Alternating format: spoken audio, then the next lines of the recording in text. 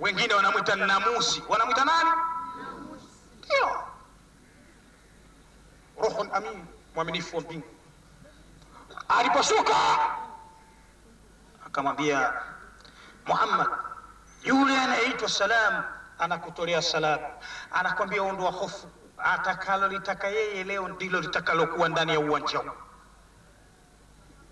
alafu malaika wote wakamheshimu mtume wakapanda sawa viraa saba katika vichwa vya binadamu wakaganda kwa mbawa zao. Mtume kamtoka salamu alaikum warahmatullah salamu alaikum warahmatullah akasimama mtume sasa kashachangamka kwa sababu anachotegemea kishashuka. Ndo maana yake ndo anaambiwa ase- wama yantiku anil hawa in huwa wahyu yuha. Huo ndo wahai wenyewe. Sasa ana uhakika na anachokifanya.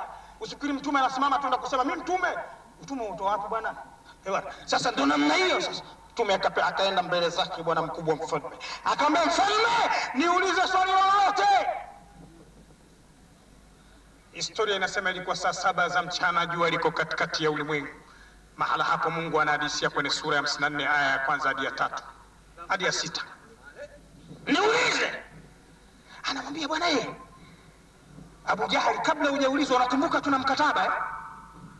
Ukishindwa hapa usitangaze mambo yako ya upuzi. Akasema nimekubali mkataba. Na ukishinda mfalme atasilimu. Mimi simo vile unajua eh? akaambia naam.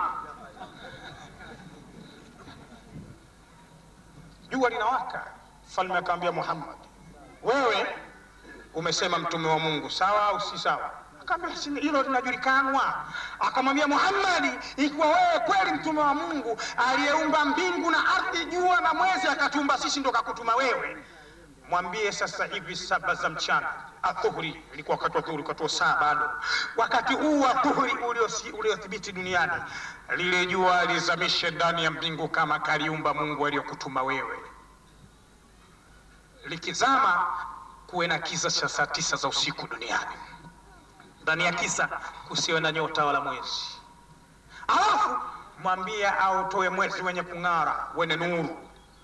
Mwezi ushuke kati ya mbingu na ardhi. Usimame useme mwezi kwamba wewe mtume. Mwezi useme kwamba wewe ni mtume wa mungu. Ukiyafanya hayo tu wewe nabii usipoyafanya wewe si lolote si chochote. Mtume binadamu unajua ingawa akapewa uhakika lakini aliambiwa maswali. Sasa maswali haya sio maswali na mkataba akashaingia. Akamgeukia abu jahali abu jahali akasema usimtazame. Jibu maswali ya mfalme. Mswalie mtume muhammad. Mtume akashuka kwenye kile kitu kinachoitwa alqaba akasimama sehemu moja inaitwa maqamu ibrahim. Kwenye nyayo za baba wa imani wakati anayejenga alqaba aliweka athari zake. Mpaka leo kule maka ipo. Aka, akaweka mguu wake wa kulia sehemu ambayo ibrahimu aliweka zamani akaweka mguu wa kushoto sehemu ambayo ibrahimu aliweka zamani miguu yake ikawa ndio kama ibrahimu anaijenga Alkaba wakati ule mungu anasema kwenye qurani inna awwala baitin wudhiya linnasi lalladhi bibakka fihi ayatun bayinatun maqamu ibrahim. Nyumba ya kwanza kuwekwa. Ili watu wakaabudu iliyoko maka ndani ya nyumba hiyo kuna alama. Ni nyayo za baba yenu ibrahim. Sema la ilaha illallah. Kaweka pale. Akanyanyua mikono yake mbinguni.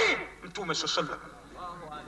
Akaambia allah yaliyothibiti hapa ni fitna juu yangu na, na wewe mola. Mimi sina uwezo wa haya. Hawa umewaumba wewe. Utakalotaka ufanye katika uwanja huu hapa mimi nakuomba wewe unisijili mimi na upepufu uislamu mtume akashusha mikono abu jahli akasema tunataka cha mchana usisubiri subiri hapa ukatupotezea iko hakitokuja sema la ilaha illallah. Kwa mara ya kwanza ulimwengu uumwe kwa mara ya kwanza. Saba za mchana wakati wa dhuhuri jua likawa linazama mbinguni taratibu. Hadhiri lilivyokuwa linazama kilivyokuwa kinathibiti. Sasa rejea tena habari hii ninayokuambia katika vitabu kitabu haraka haraka sisi watu wa sunna tunasema baada ya qurani sahihu lbukhari sasa mujalladi wa nne sahihu lbukhari hadithi ya mia nane thelathini mpaka thelathini na tatu inahadisia kisa hiki ninachokwambia. Moyo wa kisa. Katika hizo hadithi mbili ikapokea ibn abbas ibn ammi rasulillahi muhammadin sallallahu alaihi wasallam. Ibnu umma. Ni hadithi ambazo hazina makala ndani ya sanadi yake wala usiwe na shaka ya aina yoyote. Tumsalie mtume muhammad. Sasa naye ibn Abbas katika kusherehesha hili anasema watu kadiri mwezi ulivyokuwa unazama mbinguni. Allahu Akbar.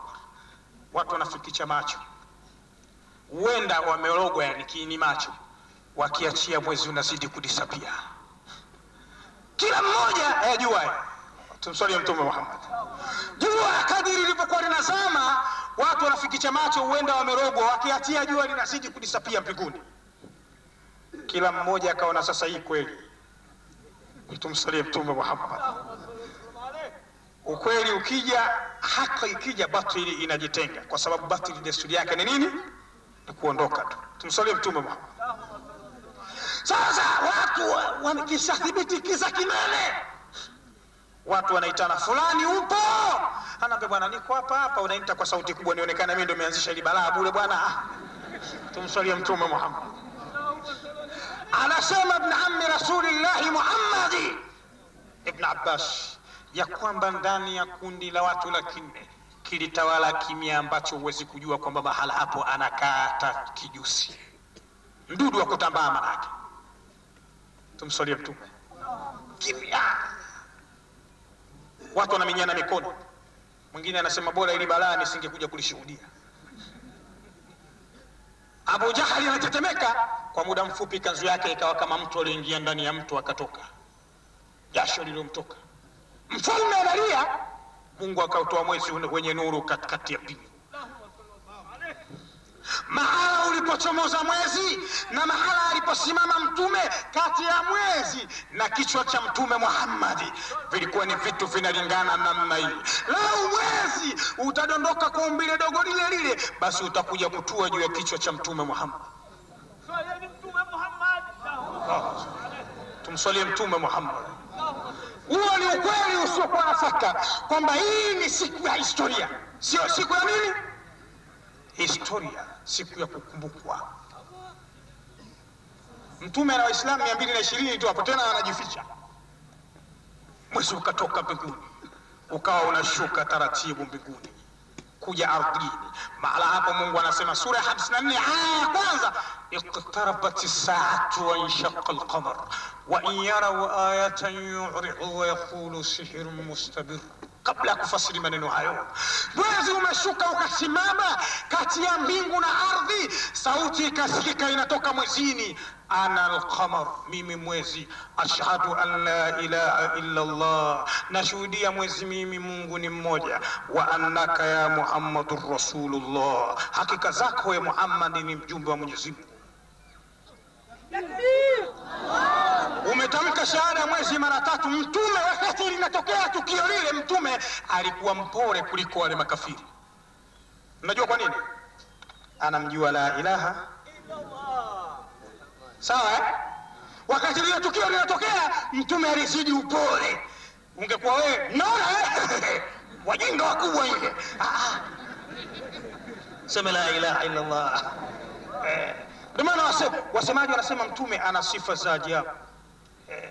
msemaji mmoja anasema sifa zako natamani kwa watu kuzibaini ila hazina kifani siwezi kuziaini ajabu sikizeni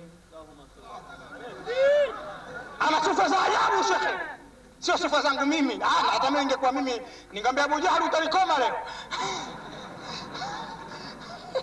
Tuseme la ilaha illallah. Lakini mwenye sifa za ajabu ni mtume Muhammad.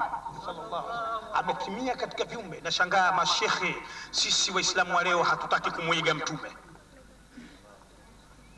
lakini ukweli ni huo. Sifa zako na tamani kwa watu kuzibaini ila hazina kifani siwezi kuziaini ajabu sikizeni tumsalie mtume muhammad.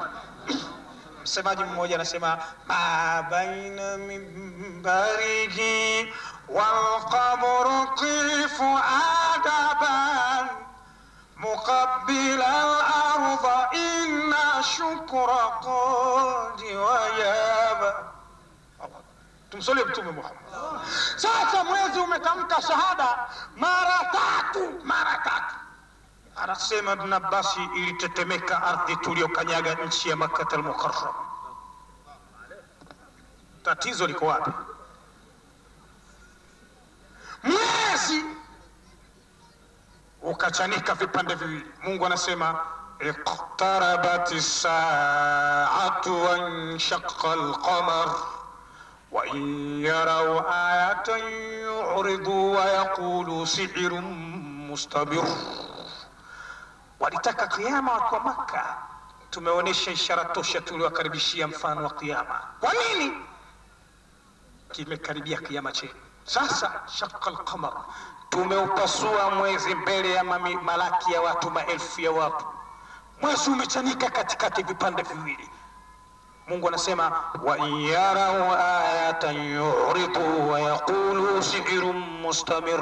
Ajabu ya watu wakionyeshwa miujiza ya aina yote wanakengeuka ile miujiza, alafu wanasema huu ni uchawi wa Muhammad, unaendelea tu. Mwezi umechanika kati kati, alafu ule mwezi umechanika ukilalia hivi kwenda hewani, na huku umechanika ukilalia hivi kwenda hewani. Ule mpasuko wa mwezi, kichwa cha mtume kikakaa katikati ya ule mpasuko wa vipande viwili vya mwezi. Watu wanashuhudia mwezi ukajiunga, ukarudi taratibu ndani ya mpingu.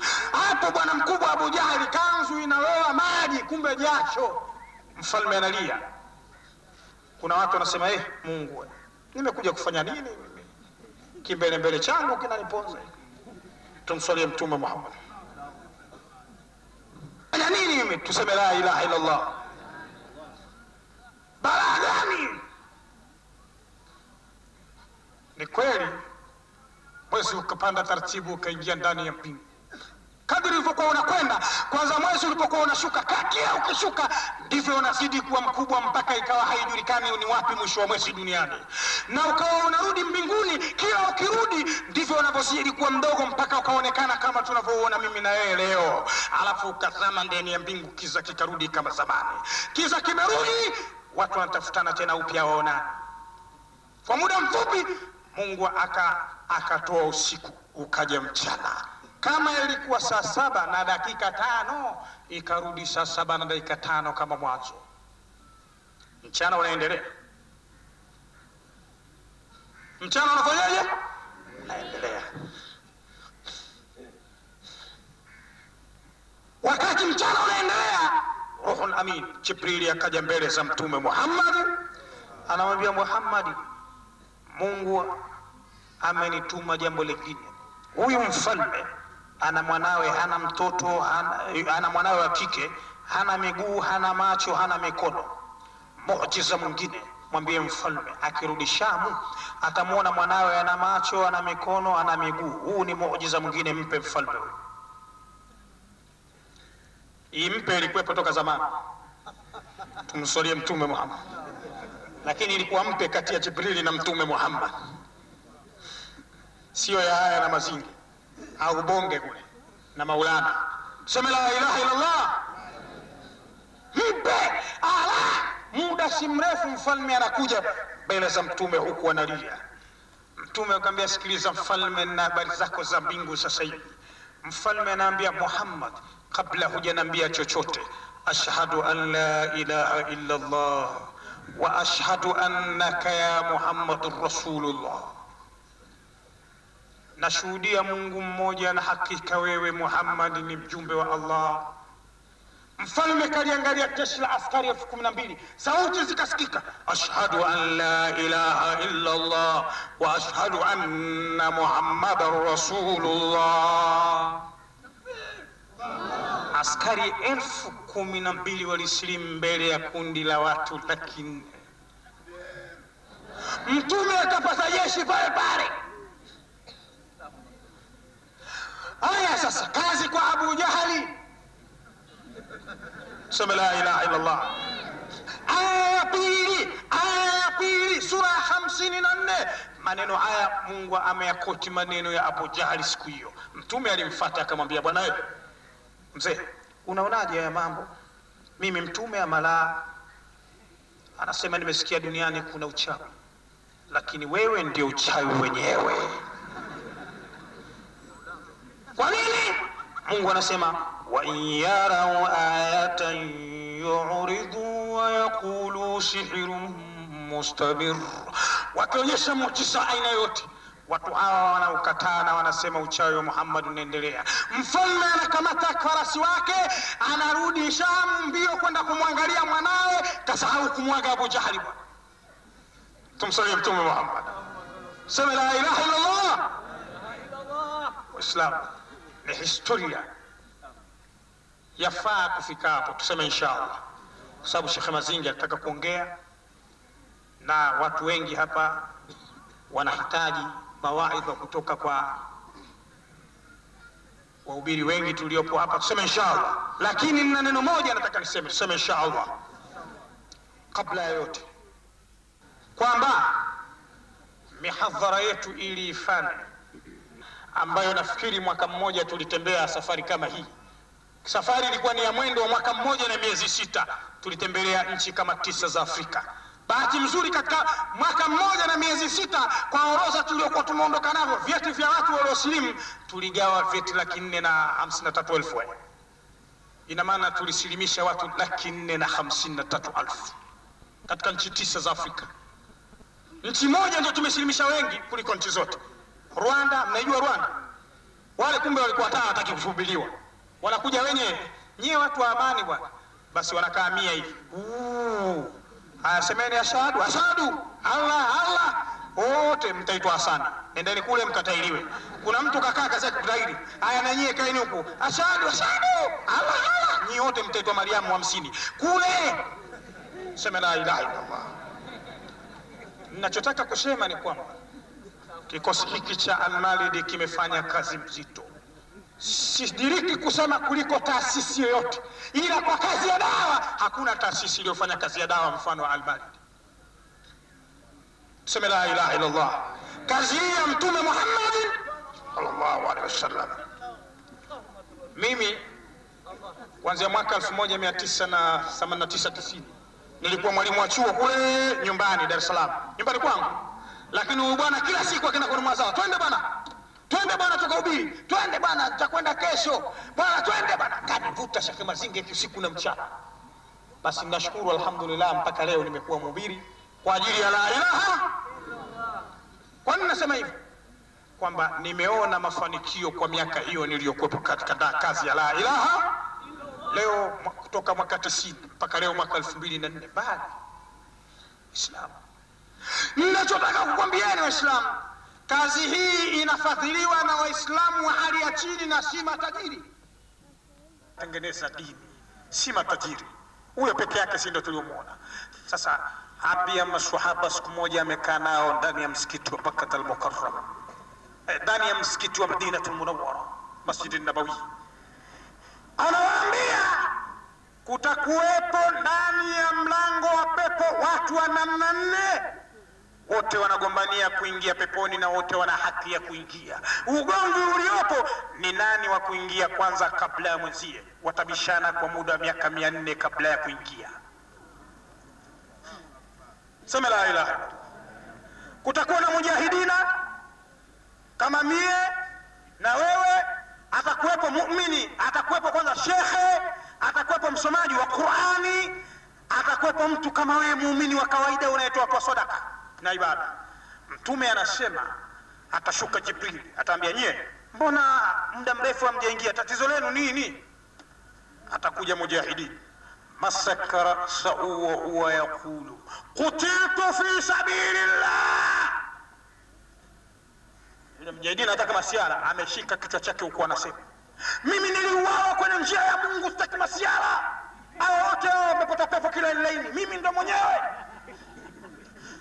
kichwa hiki kilikatwa kwa ajili ya allah ataulizwa ulienda vitani kwa nauli ya nani ulipanda farasi wa nani oh, waislamu walichanga panga uliopigania Waislamu nilikuta Baitul Mali nikapewa panga nikaenda kupigana mimi. Ataambiwa utaingia peponi, lakini si mtu wa kwanza. Kama Waislamu wasingekupa mali hiyo ya kwenda kupigania farasi pamoja na nauli, usingefika vitani. Kaa pembeni. Anakaa pembeni, anasubiri wenzie. Anakuja msomaji wa Qur'ani, anaambiwa wewe una nini? Anasema mimi msahafu mzima uko hapa, harfu moja ya Qur'ani thawabu kumi. Alimamu Zamakhshari anasema mtu aliyohifadhi msahafu mzima, basi akiwa na udhu akatawadha, anaweza kukanyaga msahafu. Watu wakamhoji kwa nini imamu, anasema naam, kwa sababu aki- akiwa ameukanyaga kitahesabika kile kilichokanyaga ni kitabu na kilichokanyagwa ni kitabu. Kwa hiyo ni vitabu viwili vimepandana namna hii. Elimu hiyo, huyo mtu ana elimu ya hali ya juu, sio masiala, ana msaafu. anasema haya, wewe ulikuwa na msaafu, sasa ulikuwa unakula wapi? Atasema bwana, mimi nilikuwa nikifika kwenye hadhara kama hii nikianza kusoma Qur'ani, walaqad arsalna ila thamuda akhahum salihan an ya'budu Allah fa idha hum fariqan yahtasimun. Waislamu wanasema Allah, mwenye mia ananiletea, mwenye hamsini ananiletea, ndo ninaishi.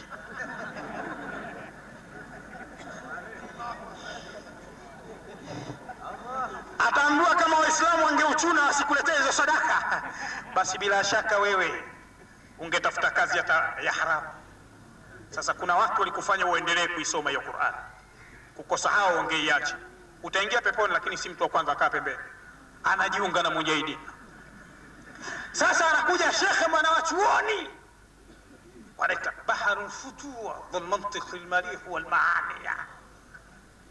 Mashekhe wasemi kwa tabu wale, anaambia shekhe, haya wewe ama hakika Jibrilu wafahamu ya kwamba mimi ndo mufti sina haja ya kukwambia habari kubwa. Nilikuwa usiku na mchana nikipata taabu mie kwa ajili ya kutunga vitabu dhahiri. eh. Jibril anamsikiliza hapo. Kwa hivyo mimi hawa vijana wasingejua Uislamu bila ya juhudi yangu ya ilmu. Atamba shekhe, umefanya kazi kubwa, lakini sasa ulikuwa unakula nini wewe? Ah, kulikuwa na ki, di, mfuko chetu cha zaka no.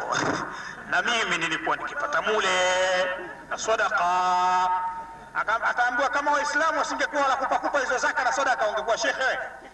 Kaa pembeni, utaingia, lakini sio mtu wa kwanza. Shekhe anasema hapa tabu, bwana Jibrilu anajiunga na Yesia.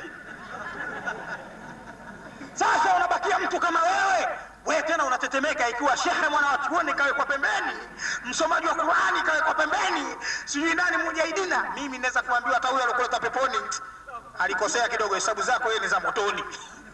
Una wasiwasi. Jibrili anakuuliza haya, wewe bwana mkubwa nini?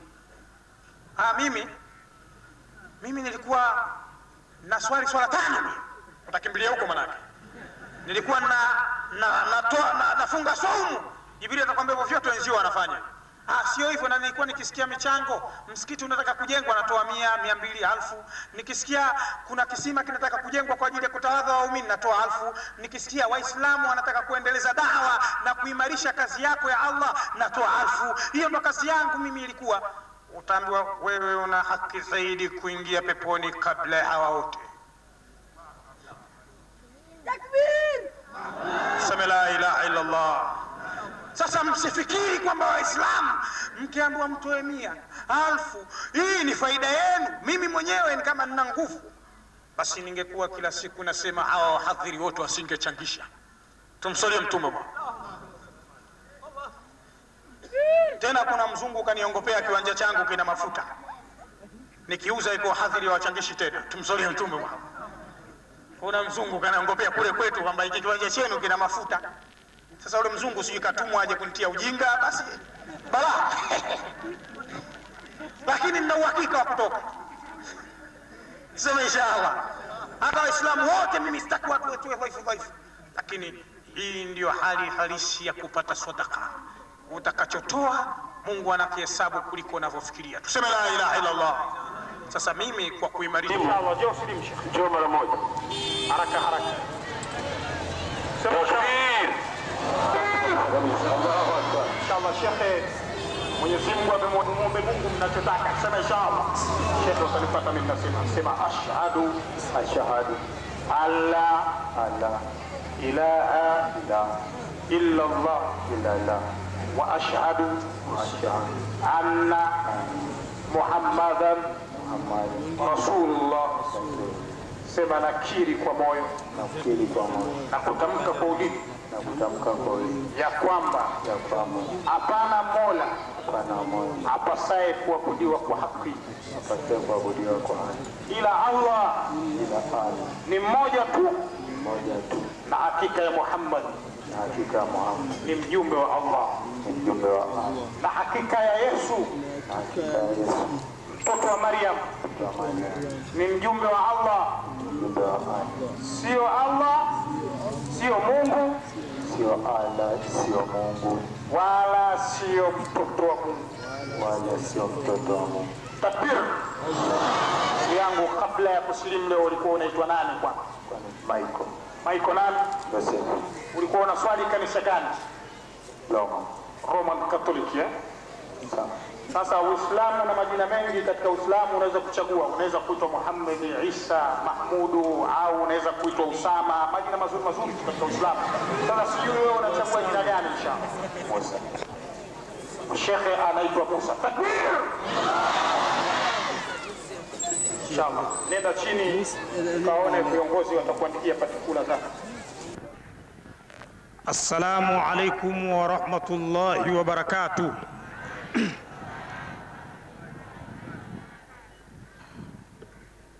الحمد لله. الحمد لله الذي تفرد بالعز والقدرة والعظمة والكبرياء والجمال. نحن لا نحصي ثناء عليك أنت كما أثنيت لنفسك يا رب. أنت رب العباد. أنت رب المستضعفين وأنت سند العاجزين. إلهي لك الشكر الجزيل مع الثناء على نعمة الإسلام أشرف المقتنع فجودك فياض وفضلك واسع. ورحمتك أرجى لمن جار أو جنى وإن تعفو عن ذنبي فشأنك هكذا. وإن رمت تعذيبي وقهر فمن أنا. ثم الصلاة والسلام على رسول الله محمد Saidi sallallahu alaihi wasallam wa baad. Ndugu ndani ya imani,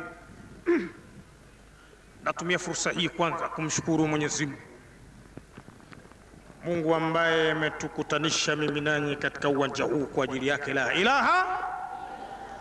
Pili, naona kama kuna dalili mzuri sana ya mawingu, lakini kwa mapenzi ya Mungu nitazungumza hadi mwisho bila mvua kushuka. Tuseme insha Allah au nyi mnasemaje Waislamu? Manake kuna watu wengine wakati kama huu, hasa hususan wanaume, wana maradhi mazito kabisa, baridi ikishawapata tumbo linafanya taabu kidogo. Tumsalie Mtume Muhammad. Basi Mungu atuhifadhi, tuseme insha Allah. Na kwa sababu wakati umekuwa mchache, nami nitajaribu kuchukua pointi chache au aya mbili au tatu za la ilaha illa Allah ambazo kwa hizo mimi na imani kabisa Mwenyezi Mungu atakuwa ameridhika na ujumbe umefika, tuseme inshallah. Kuna jambo moja tu mimi ninaliona lafaa kwa dakika hizo chache, na jambo lenyewe ni moja tu. Sote sisi sisi tumezaliwa, Qur'ani ni dini ya maumbile. Sisi yote hapa tumezaliwa tuna baba na nani na mama. Qur'ani imekataa Mungu aweze kumwingiza peponi kiumbe wa aina yoyote ambaye amemkosea babake au mama yake. Sema astaghfirullah mara tatu, kwa sababu maalum labda ziko sababu. Mungu anatuambiaje juu ya wazazi wetu wawili? Kwa sababu kuna watu wengine Waislamu, aidha akiwa na ilmu, mali, cheo, hususan Dar es Salaam tunaona bwana, kuna watu wamezaliwa huko mara mpaka vijijini kabisa. Sasa hivi Dar es Salaam, meneja mkuu labda kiwanda fulani, baba yake kaja kule ananuka ugoro, umeona? Basi we mzee, unafata nini hapa? ha? si nimekuja baba kwa hiyo siku hizi bosi eh? Maanake wale watoto wanawashangaa watoto wao wale wazazi, we kwani mwanangu siku hizi kumbe bosi eh? Mwanao nani wewe? Mimi sikutambui wewe. Baba yangu yuko Europa bwana, kwa sababu yeye ana cheo. Inna lillahi wa inna ilaihi rajiun. Mungu anasema, Mungu anamwambia Bwana Mtume Muhammadin sallallahu وقضى ربك ألا تعبدوا إلا إياه وبالوالدين إحسانا إما يبلغن عندك الكبر أحدهما أو كلاهما فلا تكن لهما أف ولا تنهرهما وقل لهما قولا كريما. سمع لا إله إلا الله. Haya. Ni maneno ya almaliku lqudusu salam mjuzi wa mambo ya siri na ghaib. La ilaha Allah, anamweleza bwana mtume muhammadin. Wakadha rabbuka alla tabudu illa iyah amehukumu mola wako ya kwamba usimwabudu yoyote duniani wala mbinguni ila huyu. Nani waislamu la ilaha! Kahukumu mwenyezi mungu. Ukiabudu kisichokuwa hicho unamtafuta muhali mwenyezi mungu. Wakadha rabbuka alla tabudu illa iya, Mungu amehukumu ya kwamba kisiabudiwe chochote ndani ya mbingu wala ardhi ila yeye, la ilaha illa Allah peke yake. Lakini wabilwalidaini ihsana, wazazi wawili waliokuzaa lazima uwafanyie wema. Tumswalie Mtume Muhammad. Hiyo sio khiari, jambo la lazima watu hawa wawili ambao Mungu ana, ana, anaamuru kwanza ibada, alafu anawakumbuka na wao, kwa kuwa yeye Allah amekuleta duniani kwa kuwatumia hao. Ndio maana yake kwamba yeye Mungu mwenyewe, wewe ni kiumbe wake, lakini kawapa tabu wao duniani. Wamekuja kwa njia ya kuwatumia wao. Kama wasingekuwa wao, wewe usingekuja duniani. Sema la ilaha illa Allah. Mungu anasema imma yablughanna indaka alkibaru ahaduhuma au kilahuma فلا تكن لهما أف ولا تنهرهما وقل لهما قولا كريما Mwenyezi Mungu anamwambia Bwana Mtume Muhammadin sallallahu alaihi wasallam ya kwamba baada ya kuhukumu la ilaha illa Allah Mungu eh, eh, nimemwona na mimi. Tumsalie Mtume Muhammad. Wewe sikaniongombea toka jana, ananipigia simu anakuja, na mimi nataka kurudi, na yeye anaanza nakuja, subiri tu, siku zinakwenda. Tumsalie Mtume Muhammad.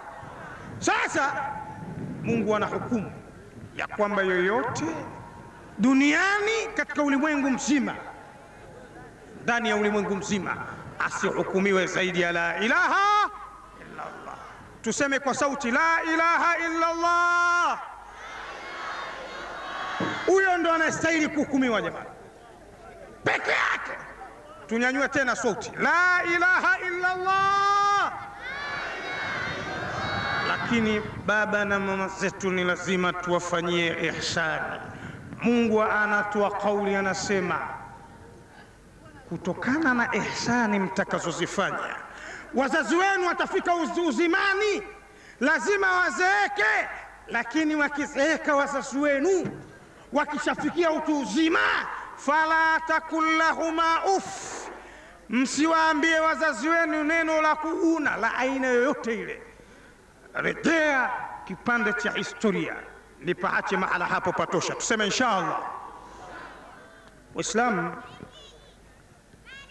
katika uhai wa Nabii Allahi Suleimani tutazame fadhila za mtoto ambaye anamheshimu baba yake au mama.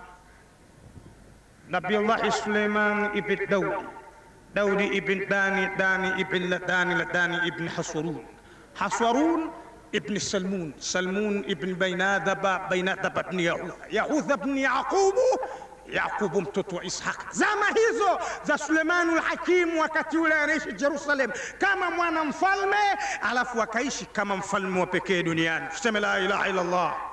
Mungu anasema kwenye Qur'ani, fasakharna له ريح تجري بأمره رحاء حيث أصاب katika vitu tuliompa Suleimani mtoto wa Daudi, mwanawe Daudi katika vitu tulivyomfadhilisha sana duniani, fasakharna lahu riha tajri biamri, tulimuitishia upepo. Upepo mnaujua Waislamu?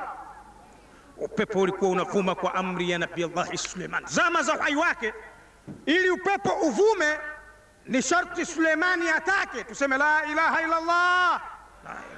Siku moja katika uhai wake Suleimani ulivuma upepo, alikaa kwenye kiti cha kifalme. Ghafla Mungu akajalia yeye na jeshi la watu hamsini binadamu na hamsini majini, akaamrisha upepo mnyanyue atoke zake Yerusalemu kwenda Saba. Upepo ukambeba Nabii Suleiman.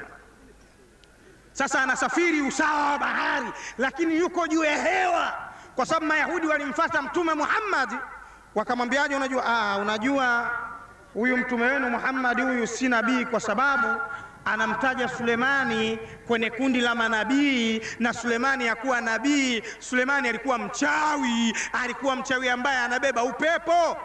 Tuseme inna lillahi wa inna ilaihi rajiun. Mungu anasema kwenye Qur'ani, anafuta kauli hiyo.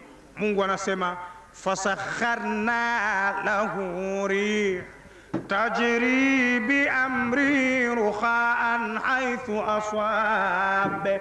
tulimuitishia Suleimani upepo unakwenda kwa amri yake kokote atakako duniani. Ina maana Mwenyezi Mungu ndo alitoa amri upepo fume kwa amri yake kutokana na Suleimani. Sikilizeni, tuko kwenye birrul walidaini, yani tuko kwenye kuwafanyia ihsani wazazi wawili tu, kwa sababu nimeona mimi mada zangu ni ndefu sana, muda mfupi niongee angalau kumi, kwa sababu dakika zimekwisha.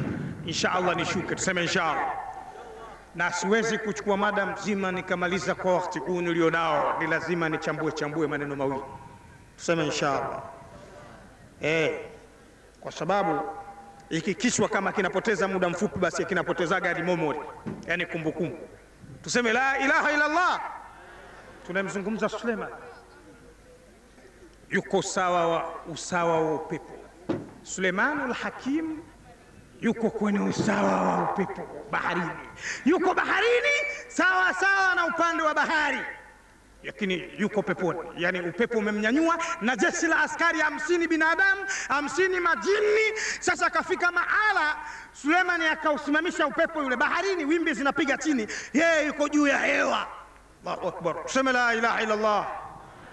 Manabii wamefanya miujiza mizito sana duniani, Waislamu mikubwa haina hata mfano. Tuseme tena la ilaha illa Allah. Hakuna nabii mzembe mzembe ambaye yeye alikuwa kilaini laini tu, hakuwa na miujiza, hakuna.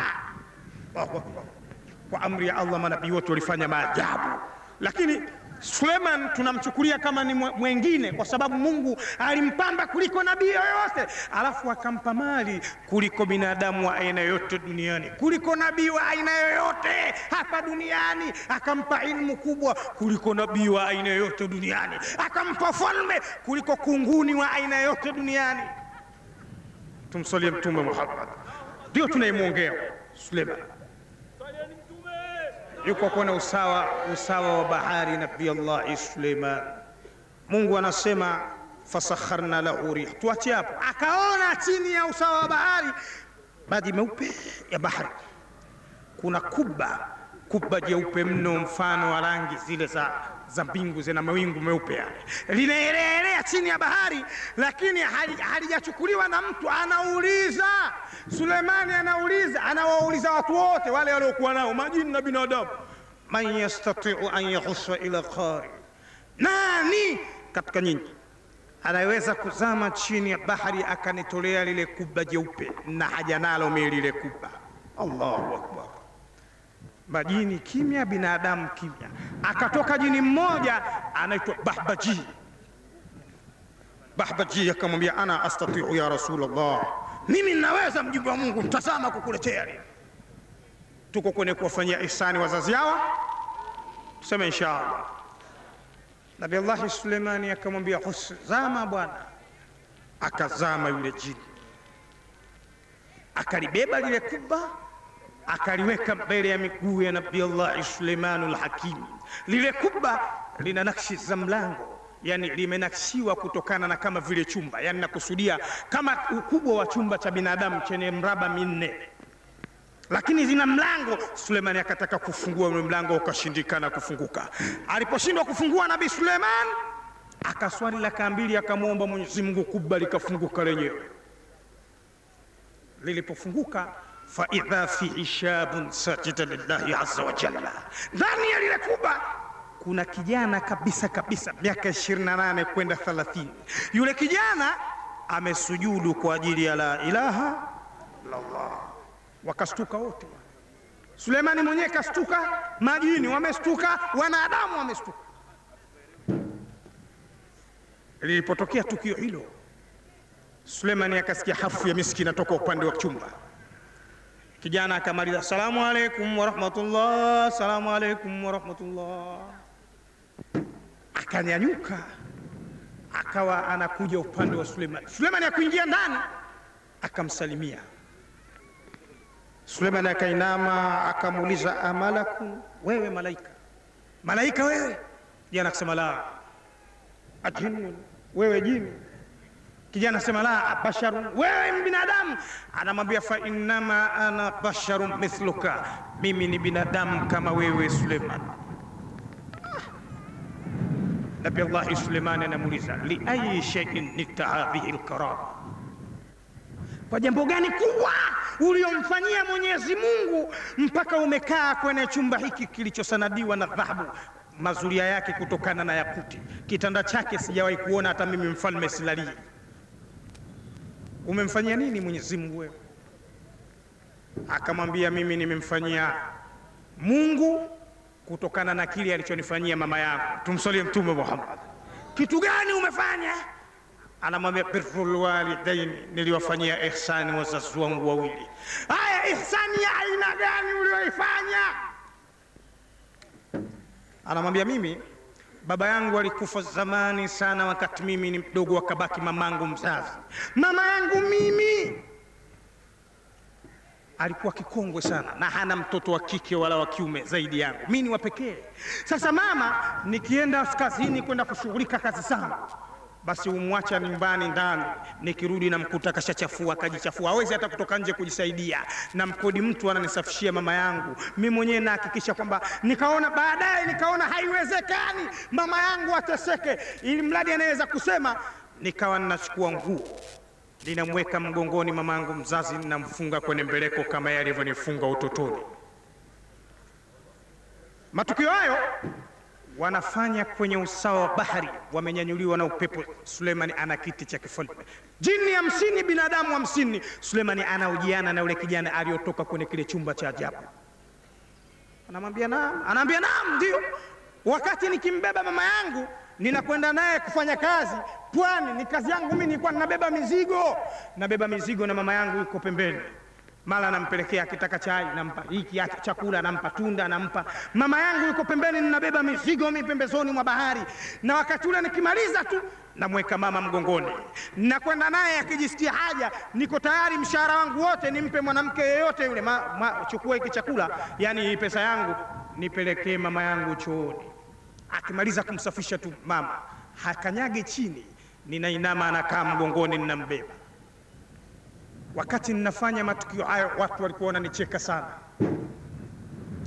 kawaida, lakini Mungu anasema inna ladhina ajramu kanu min alladhina amanu yadhakun wa idha marru bihim yataghamazun.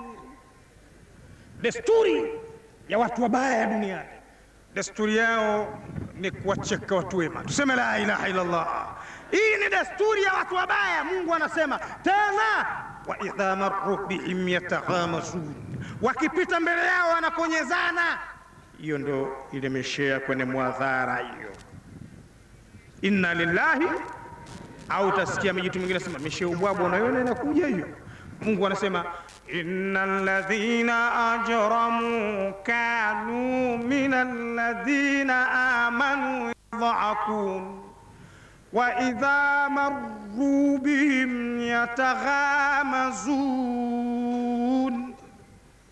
Desturi ya watu wabaya ni kuwacheka watu wema, alafu wakipita mbele zao wanawakonyeza, wanakonyezana. Yani ilikuwa hivyo ndio kabla ya siku ya Kiyama. Sasa leo wema watawacheka wabaya.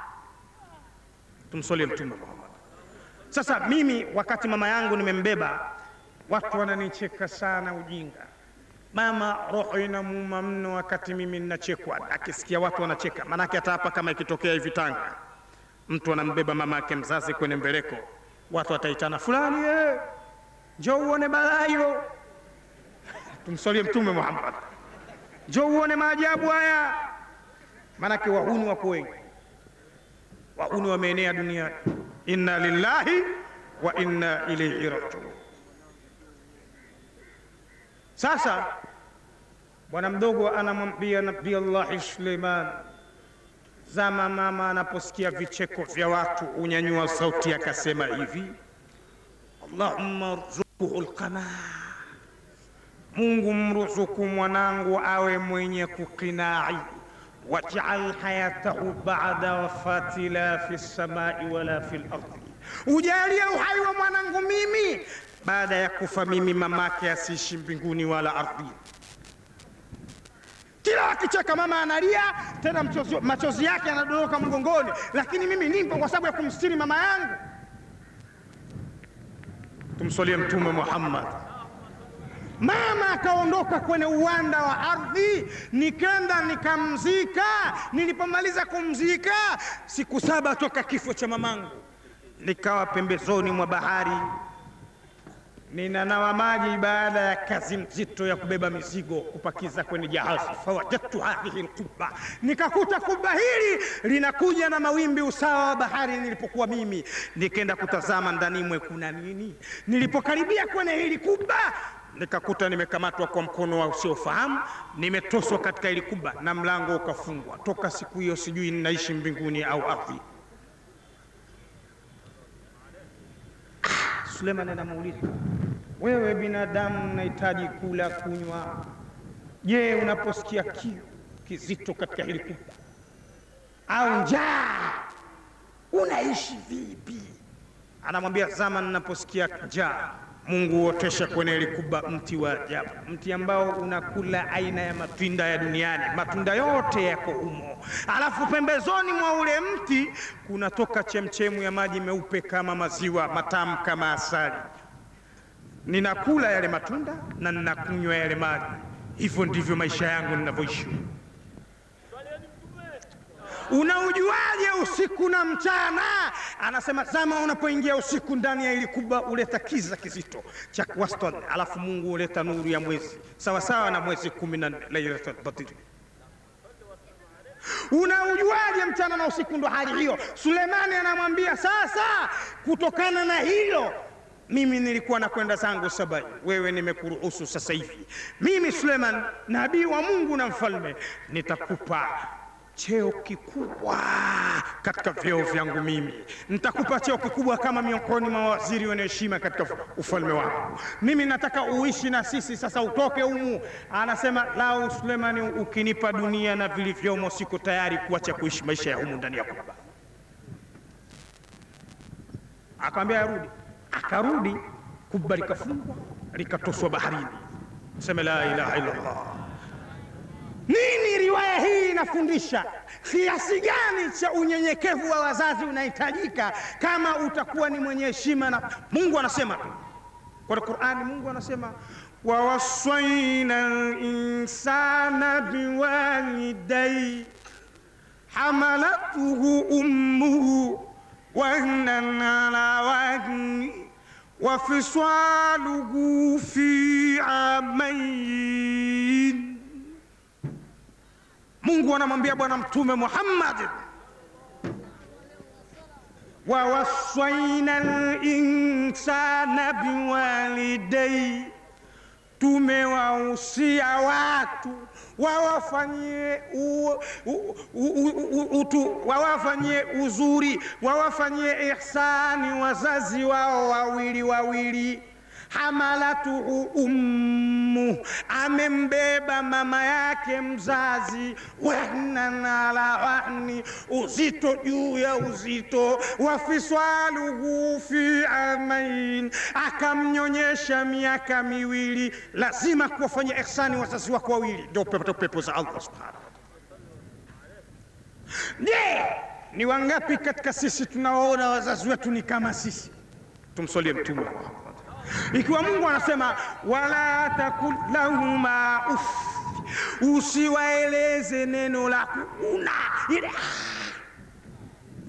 Wangapi wazazi wetu tumewagunisha toka utoto hadi leo? Tumswalie Mtume Muhammad. Wote tuna makosa mazito, tunaishi kama si Waislamu. Inna lillahi. Tena wengine nasema, unajua wewe baba, we mzee noma sana mimi nakuona unanifuatilia fuatilia sana kwenye anga zangu. Sasa wewe sijui una, una maana mimi nitakutoa roho, yani anambia babake mzazi. Inna lillahi. Sisi tulikuwa na mtu mmoja anaitwa Kiprusi kule kwetu Dar es Salaam, kawahi kula na, na baba yake sahani moja chakula cha baba yake, lakini alikamata mkono wa baba yake mwanzo wa tonge mpaka mwisho. Yani mama yake baba yake si anakula hivi, akakamata mkono wake wa kulia akaambia, nna kula, subiri hapa na usipige kelele yaani mama yake ndio anamwogopa zaidi kuliko baba yake. Na mzee hajapiga kelele, mkono ukakamata mpaka chakula kimekwisha, huyo anaondoka.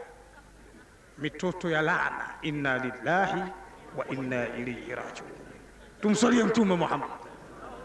Uislamu una kila sehemu, sekta imegusa, hakuna mahala Uislamu umeacha. Tuseme la ilaha illallah. Hatuna maanisha kwamba kuwaita maka, makafiri ndani ya Uislamu wasijua kwamba ah, kumbe hata baba. Sasa angalia Mungu, Mungu anasema wa in jahadaka ala an tushrika bima laysa laka bihi ilm fala tuti'huma, wazazi wako wakikufanyia juhudi ya kunishirikisha mimi Mwenyezi Mungu, baba yako na mama yako mfano ni makafiri, wewe ni Muislamu, fala tuti'huma, usiwatii wazazi wako, lakini kutowatii kwako usiwatukane. Wasaibehuma fi dunya marufa ishi nao duniani kwa mwendo mwema, kwa amani kabisa. Baba kafiri, mama kafiri, we mwenyewe Muislamu, wewe umesilimu, baba yako Mkristo, mama yako Mkristo, Uislamu unakuambia usiwatukane.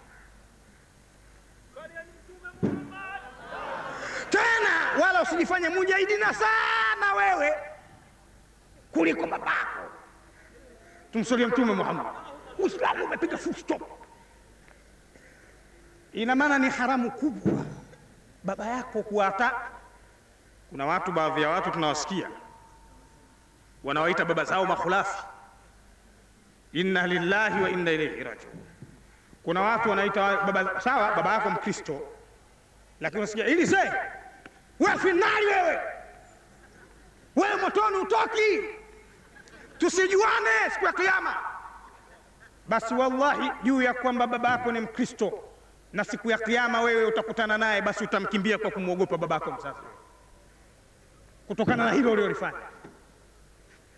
Mungu ametoa amri, anasema wa jahadaka ala an tushrika bi ma laysa laka bihi ilm, wakikufanyia juhudi wazazi wako juu ya kunishirikisha mimi Allah. Babako anakwambia baba, mwanangu, twende kwenye mzimu fala tutiihuma, usiwatii. Lakini kutotii kwako, wasaibehuma fi dunya marufa, ishi nao duniani kwa amani.